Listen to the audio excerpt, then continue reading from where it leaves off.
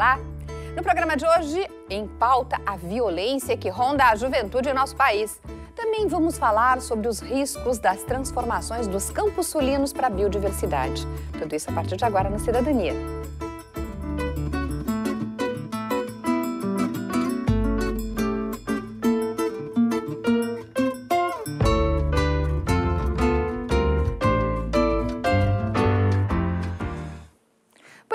Discussão envolvendo jovens e violência tem ganhado o centro de muitos dos debates. De um lado, aqueles que os veem como um perigo para a segurança pública. De outro, grupos que consideram os jovens como as principais vítimas dessa violência. Isso é o que a gente vai discutir a partir de agora com os nossos convidados. Nós estamos recebendo aqui no estúdio, em Porto Alegre, professor do programa de pós-graduação em Ciências Sociais da Unicinos, professor Carlos Gadeia. E diretamente de Brasília, via Skype, participa Antônio Teixeira Júnior, que é pesquisador do Instituto de Pesquisa Econômica Aplicada, o IPEA. Bem-vindos vocês, bem-vindo Antônio aí de Brasília. Muito bem. Obrigado. Professor, primeiro só assim, aqui, é, é, é, a Unicinos realizou uma pesquisa com os jovens. O senhor podia falar rapidamente desta pesquisa, a, o objetivo dela e o que... que o objetivo dela foi que, então, durante dois... Bom, primeiro, é, bom dia, boa tarde né, a todos. Um prazer estar aqui novamente, Mariana. A pesquisa nossa terminou na Real o ano passado, 2014. Fizemos durante dois anos e meio, eh, pegando quatro bairros de Porto Alegre, na região metropolitana, tá? onde são os mais considerados mais violentos, talvez, por dados da polícia.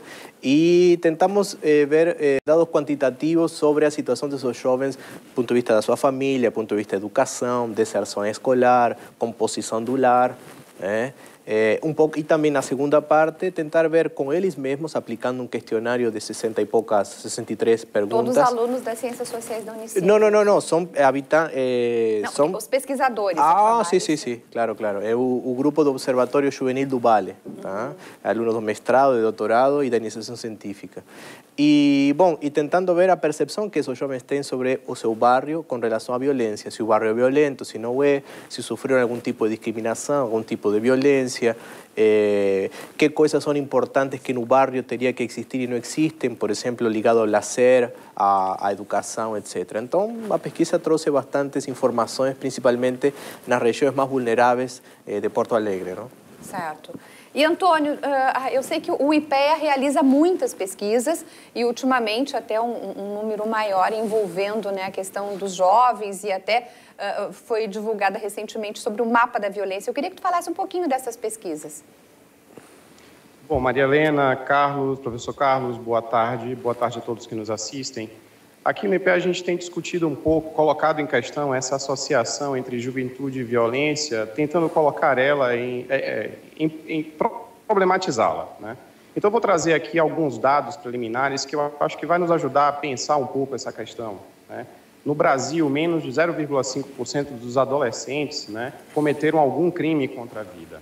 Em 2013, é, 23,1 mil adolescentes viviam em regime de privação de liberdade no Brasil, né, submetido a alguma das medidas socioeducativas mais graves né, estabelecidas pelo Estatuto da Criança e do Adolescente. No rol de delitos cometidos pelos adolescentes detidos, apenas 8,7% cometeram é, homicídio, considerado socialmente politicamente um dos crimes mais graves. Né, de outro lado, em 2012, os dados do índice de homicídios na adolescência mostra que em é, 34% dos municípios brasileiros, as chances de um adolescente né, do sexo masculino ser assassinado era 10 vezes maior do que de uma menina. E que um adolescente negro ser assassinado, a chance dele ser assassinado era três vezes maior do que de um adolescente branco. De outro lado, né, o mapa da violência 2014 mostra que a violência praticada contra os jovens e não por eles tem um caráter seletivo e sistêmico. Né? Entre 2002 e 2012, por exemplo, né, houve uma queda da taxa de homicídios da população branca e um incremento da vitimização da população negra. Né?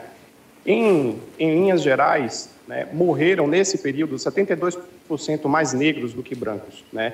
De outro, outro dado importante para pensar a violência na sociedade brasileira e colocar em questão essa associação com a juventude é a gente pensar na violência policial. E no Brasil, segundo o área de segurança pública, morreram entre 2009 e 2013 11.197 pessoas pela polícia. Né? Este número desconsidera os crimes promovidos por grupos de, de extermínio. Né? Um relatório da CPI do extermínio no Nordeste aponta que 80% dos crimes promovidos por esses grupos têm a participação de policiais e ex-policiais.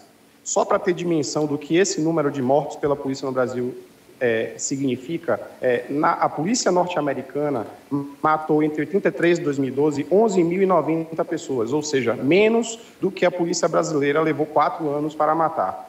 Trago esses dados apenas para falar de forma peremptória o seguinte: no Brasil, quem mais mata é o Estado, através de um conjunto de políticas que tem na polícia, mas não somente nela, o seu principal executor. Então, quer dizer que são, é, é mais... a juventude negra é objeto de uma política genocida. Isso quer dizer que é mais em relação à violência, ao confronto com a polícia, do que propriamente uma questão eh, do tráfico de drogas, que se coloca muito em consideração isso? A maior parte dos crimes praticados por adolescentes não está ligado ao tráfico, são crimes contra a propriedade. Tá? tráfico aparece em segundo lugar. Mesmo assim, ele não é o considerado o crime mais gravoso, que justifica inclusive os debates que têm sido colocados a respeito da diminuição da maioridade penal. Em geral, quando se pensa na impunidade como um problema social, as pessoas associam de imediato são eles considerados mais gravosos dentro de uma perspectiva de discussão de um projeto civilizatório. Tá, a gente já vai seguindo, Antônio. Eu só queria ver assim, com o professor Gadé aqui, porque essa questão étnica também foi alvo da sua pesquisa, né? A questão uh, dos negros serem mais vítimas, dos jovens negros aqui na região metropolitana de Porto Alegre. Efectivamente, são os que também cometem menos delitos. Se tu vê a população que está internada na fase, eh, a população minoritária eh, de, de, de jovens negros, né? São os que menos supostamente proporcionalmente teriam que fazer mais na medida em que a situação socioeconômica e de segregação, de exclusão, poderia ser um, um, um elemento que pode causar a maior delito, mas não, são a população, digamos, minoritária de negros. E também, obviamente, como bem fala o, o colega lá do IPEA, são as maiores vítimas, né? É, a questão do assassinato. Mas eu acho que, independentemente de que o tráfico de drogas seja é, o segundo elemento eh, o segundo, digamos, delito eh, considerado eh, dentro dos jovens, igual é importante levar em consideração, embora seja o segundo não tão importante, é importante porque eu vejo um processo do que se pode chamar às vezes de ganguização ou de eh, eh, aumento das facções atuando, e justamente o público jovem de periferias está ingressando cada vez mais em diferentes facções. Aqui na região metropolitana se encontrou, segundo a polícia, mais de 25 facções criminosas. A gente conhece dois ou três que são as mais famosas, mas existem muitas. E às vezes a violência contra esses jovens pobres, digamos, das periferias e negros, acontece também por estar ligados direta ou indiretamente a toda essa, a essa rede, digamos, ligada ao narcotráfico. Também é a segundo delito porque sabemos bem as mudanças que houve eh, do ponto de vista do julgamento à questão do, do tráfico de drogas. Eh, por exemplo, por tráfico se pode condenar alguém que simplesmente às vezes tem posse, não necessariamente tráfico. Então, eh, se coloca dentro del mismo lugar alguien que de fato trafica y alguien que simplemente consome. Né? Então isso também traz um problema grave. Então quem trafica de fato é menos ainda do que eh, dizem os números de que seria o segundo delito mais importante dos jovens. Mas que de fato demonstram as pesquisas é isso, uma vítima, ou seja, eh, o jovem é muito mais vítima que protagonista da violência. E no senso comum, eh, o sentido de insegurança que se vende à população diz que não, que são os jovens os principais protagonistas da violência e que não é assim verdade. E, Antônio, vocês têm dados em nível nacional. Tu estavas falando do Nordeste. Eu queria que tu fizesse assim, uma relação das regiões, se tu puderes uh, fazer assim, uma relação das regiões brasileiras, quais assim as mais violentas, onde os jovens, uh, tem um maior número de jovens vítimas ou, ou envolvidos nesses casos de violência.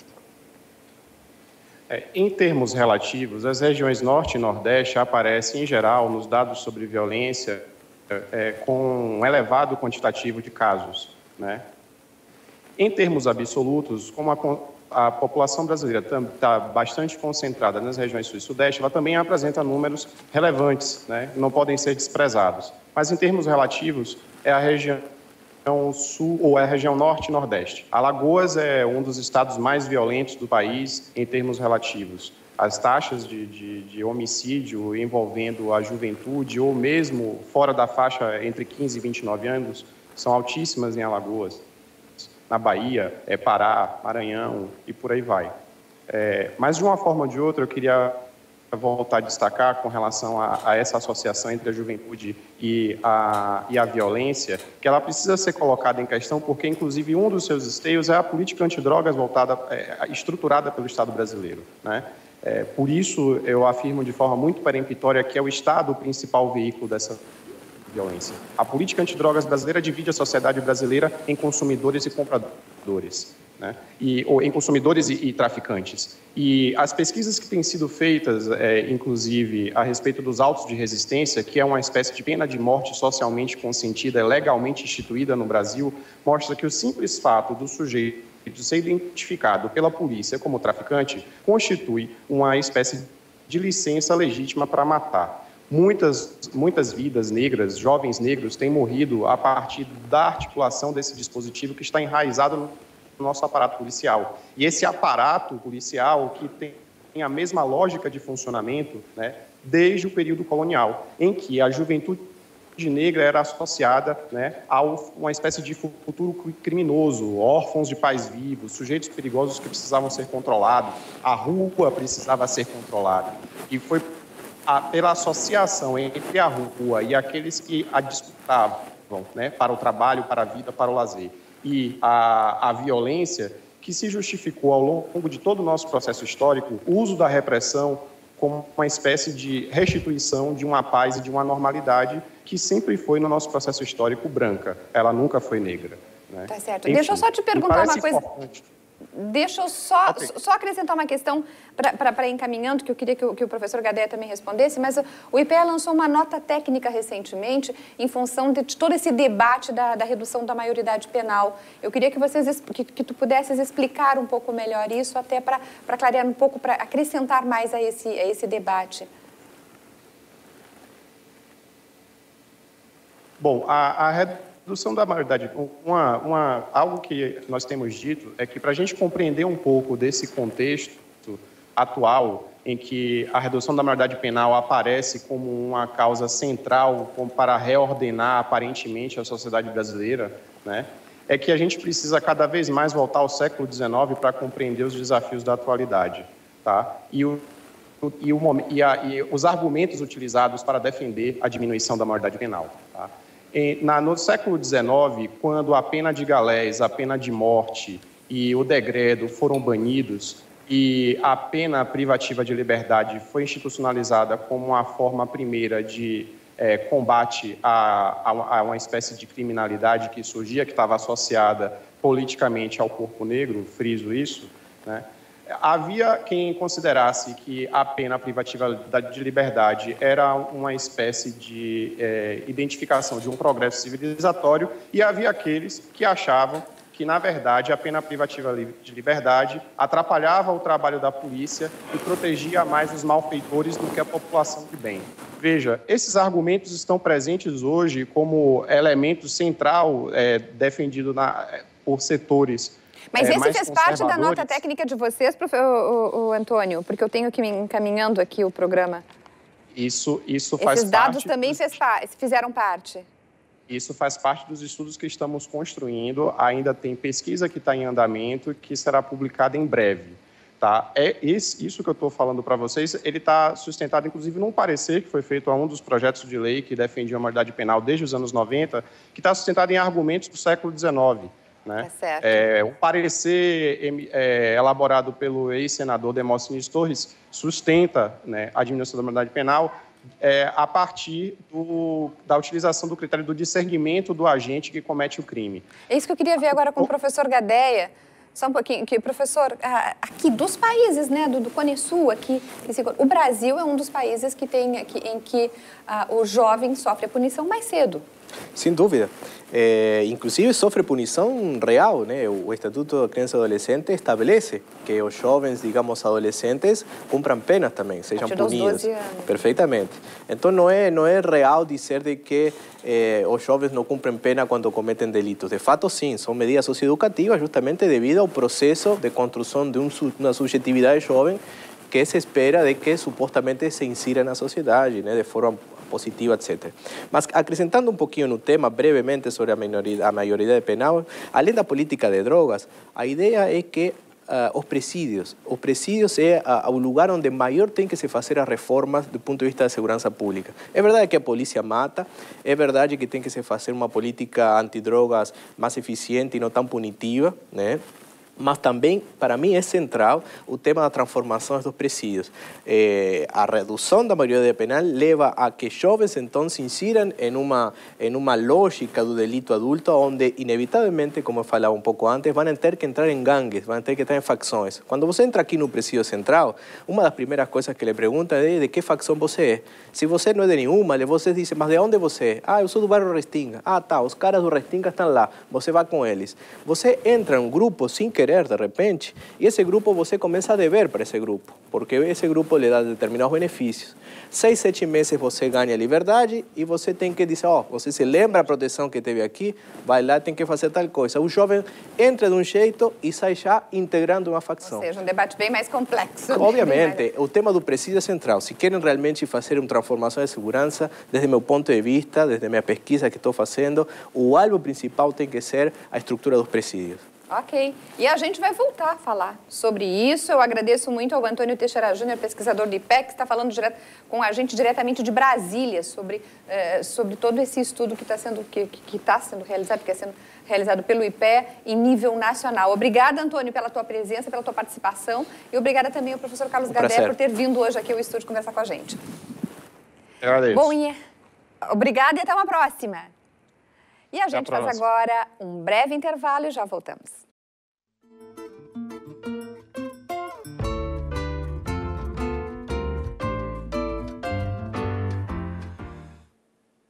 No começo de abril, foi implantada aqui no Rio Grande do Sul a Subcomissão da Verdade sobre a Escravidão Negra. Um espaço para conhecer melhor a realidade dos negros hoje em nosso país. E esse é o tema do comentário do procurador Jorge Terra a OAB Gaúcha instituiu a Comissão da Verdade sobre a Escravidão Negra. Ela é composta por advogados, antropólogos, jornalistas, historiadores, educadores, ativistas sociais, estudantes. O nosso objetivo, é bom que se deixe claro, não é fazer uma mera revisão histórica. Pelo contrário, é identificar a situação atual do negro brasileiro e gaúcho e buscar as raízes lá atrás, as raízes na escravidão e, so, e seus efeitos ainda hoje com, é, percebidos. Ela, ela, a subcomissão, tem também um, um objetivo e, na verdade, um compromisso, que é estabelecer, apresentar propostas concretas e transformadoras. Poderia dizer aos senhores o que talvez para muitos seja novidade, né? Mas ainda há diferenças salariais, há diferenças no níveis de empregabilidade, ainda há diferenças nos níveis de desempregabilidade por questão racial. E isso não está longe de nós, como pode parecer. Isso é na região metropolitana de Porto Alegre. Nós vemos os negros tendo dificuldade na questão educacional de ver cumprida lei que obriga a ensinar a sua cultura, a sua história nós vemos os negros também com dificuldade de inserção, inserção nos espaços de poder. Portanto, a nossa comissão, a comissão que a OAB institui, tem um compromisso muito sério e muito grave.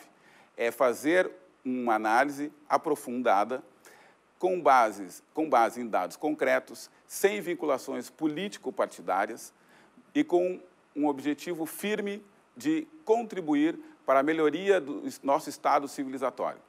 Isso é bom que se diga, não se restringe a um grupo social, não se restringe a um grupo étnico, isso interessa a toda a nação brasileira. Pois as alterações nos campos do Sul representam um risco para a biodiversidade dessas regiões. Esse é um dos temas centrais desse livro aqui que a gente vai falar agora, Os Campos do Sul, que reúne trabalhos de mais de 80 autores. O que vem acontecendo com os Campos do Sul? Quais os riscos? O nosso convidado aqui vai falar para a gente sobre esse assunto é o professor do Departamento de Ecologia da Universidade Federal do Rio Grande do Sul, Demétrio Guadagnini, que faz parte desses pesquisadores e que compõe a rede de campos sulinos. Seja bem-vindo. Obrigada. Obrigado, Lindo livro, hein? Muito bonito o livro. Foi, foi uma edição bastante cuidadosa e a, e a intenção era essa, era, em primeiro lugar, é, fazer um livro que é, tivesse um apelo importante, visual, né? que chamasse atenção para a beleza, muitas vezes pouco percebida, dos campos do, aqui do sul do Brasil. Uhum. Muito se fala sobre os campos. Como foi para reunir assim tantos profissionais desta área e escolher assim todos esses dados? Como foi para fazer toda assim? A pesquisa já estava feita uh, para reunir são são as pesquisas de cada um de vocês. Como é que foi? É, bom, o, o, professor Valério, né, que coordena a, a rede Campos Solinos, ele já vem é, é, pensando nessa ideia há bastante tempo e existe um grupo bastante grande de pesquisadores Exatamente. envolvidos com pesquisas é, na região campestre do Rio Grande do Sul. E, a, e, e, através da rede, né, esse grupo de pesquisadores tem trabalhado de forma integrada há, já bastante tempo. É o que a gente fala de toda a região do Pampa. Seria isso ou, ou abrange mais ainda que o é, Pampa? É, bom, classificações tem várias. Ah, né? e a, é, geralmente o, a, o, o, conceito de Pampa está restrito aos campos da metade sul do estado. E nós temos aqui no Rio Grande do Sul ainda os campos de cima da serra. Né, que, é, em termos de, de afiliação botânica, eles estão mais próximos do bioma da Mata Atlântica. Né? Então, nós temos campos no Pampa e temos campos na Mata Atlântica. Uhum. E a, a, a, isso é o começo da classificação. Na verdade, a diversidade que existe de campos né, na região sul do Brasil é enorme. E, então, vocês fizeram todos esses campos, não somente o que se considera Pampa, não somente o bioma Pampa. Tem pesquisas é, voltadas né, para todas as fisionomias, né, todas as feições de campo, e, e esse livro ele discute essas classificações Nossa. e a, apresenta. Ele é lindo, é um, já vamos vendo. A... Apresenta um assim? resumo né, da, das, uhum. dos principais tipos, das principais fisionomias de campos que tem em, em todas as regiões do sul do Brasil, né, tanto na campanha é, quanto nos campos de cima da serra. O que, que tem mudado na, na, na, biodiversidade com as opções assim até econômicas? O que, que tem, que riscos esse esse esse espaço está sofrendo? Esse... Até pouco tempo atrás, é, o, os campos eram bastante negligenciados, né, em termos é, tanto de de preocupação com conservação quanto de preocupação com, como sendo um, um espaço importante para o desenvolvimento regional, para o desenvolvimento do Rio Grande do Sul. O Brasil, historicamente, é um país que é considerado florestal, né? onde é a Mata Atlântica, a floresta amazônica, né? ou seja, os ambientes de floresta, né? os ambientes que têm árvores, é que historicamente são mais valorizados, é, é, tanto pelo Estado quanto pelo público. Então, assim, os campos, como, são, como é um, um ecossistema aberto, né? eles nunca tiveram esse, é, é, é nunca, essa, a sua importância valorizada. Isso é muito recente. Por conta disso, é, é, é, atualmente ele é um espaço muito mais vulnerável a ser transformado. As taxas de conversão dos campos são superiores às taxas de conversão de florestas, uhum. é, porque é, é, existem, existe menos apelo sentimental para a conservação dos campos. Essa é que é a verdade. Exato. Então, é, nós temos o dia da árvore, mas a gente não tem o dia das gramíneas. né? E a, a, legislação que protege a vegetação nativa era, é, até pouco tempo atrás, o Código Florestal. Ou seja, não era um código para todos os ecossistemas do Brasil, era um código para as florestas, Código Florestal. Agora a legislação mudou de nome, né? é a legislação de proteção da vegetação nativa. Mas as pessoas continuam chamando de Código Florestal, que está introjetado, né? Na cultura nacional que florestas são mais importantes. E de que forma os interesses econômicos atingem esta região aqui? Ela é uma área que, é, é, pela sua forma tradicional de uso, ela tem sido considerada é, marginal em termos de desenvolvimento e como um espaço para ser transformado. Né? Então, o campo é visto como um, um, espaço vazio a ser ocupado. Ele é hoje a fronteira é, de expansão da silvicultura e da soja, principalmente e das, uh, dos hortigranjeiros uh, em terceiro lugar. E, uh, e, isso tem provocado uma mudança drástica, né, na, de, assim, tanto de perda de, de campos nativos, quanto de, de, degradação dos poucos campos que ainda existem. Que é o que a gente vê um pouco aqui agora, as espécies exóticas, espécies exóticas invasoras, que é de sua autoria, sua pesquisa. Essa Sim. imagem última que a gente viu aqui agora. É, a principal causa de perda da biodiversidade dos campos, que aliás, é, vou abrir um parênteses aqui, né? Então, assim, não é simplesmente perda de biodiversidade, mas é perda de todos de, dos serviços ecossistêmicos que são proporcionados para a sociedade por essa biodiversidade. Uhum. É, e a, é, falando um pouco aqui da relação que isso tem com as espécies invasoras, nós temos gramíneas nativas muito produtivas uh, do ponto de vista nutricional, como qualidade de forrageiras para o gado, e, e, que nós estamos perdendo pelo manejo inadequado e por não é, reconhecer o seu potencial. É, e, a, e por esse desconhecimento são introduzidas às vezes espécies exóticas, como a braquiária, como é, é, é, grama forquilha e várias outras, né, que não têm o mesmo potencial forrageiro, que na verdade são inferiores. Né? E só que para as quais existe uma receita pronta, né, ou existe uma propaganda de que é, uma espécie exótica vai salvar um modelo econômico precário e em crise, né? Quando, na verdade, nós temos um, um potencial de, de, uso da biodiversidade nativa para essas finalidades. E a, a consequência desse, desse privilégio para espécies invasoras, frequentemente com pouco fundamento, né?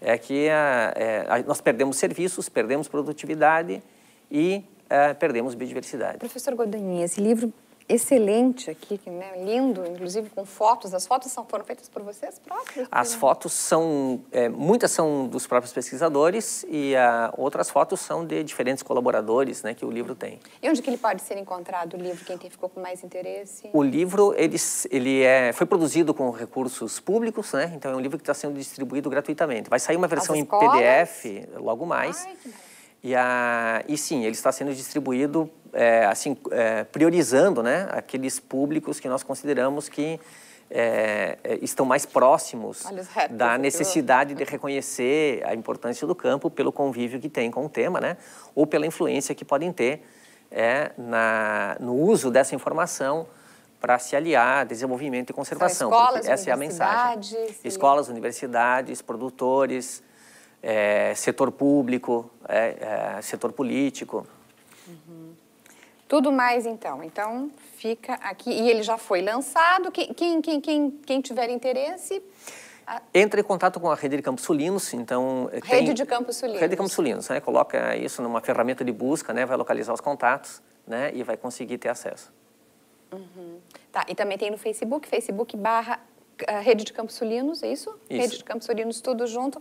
Também pode acessar todas as informações a respeito do livro e as informações a respeito dos pesquisadores, que, como o senhor falou, são mais de 80, né? São por volta de 80 pesquisadores. São.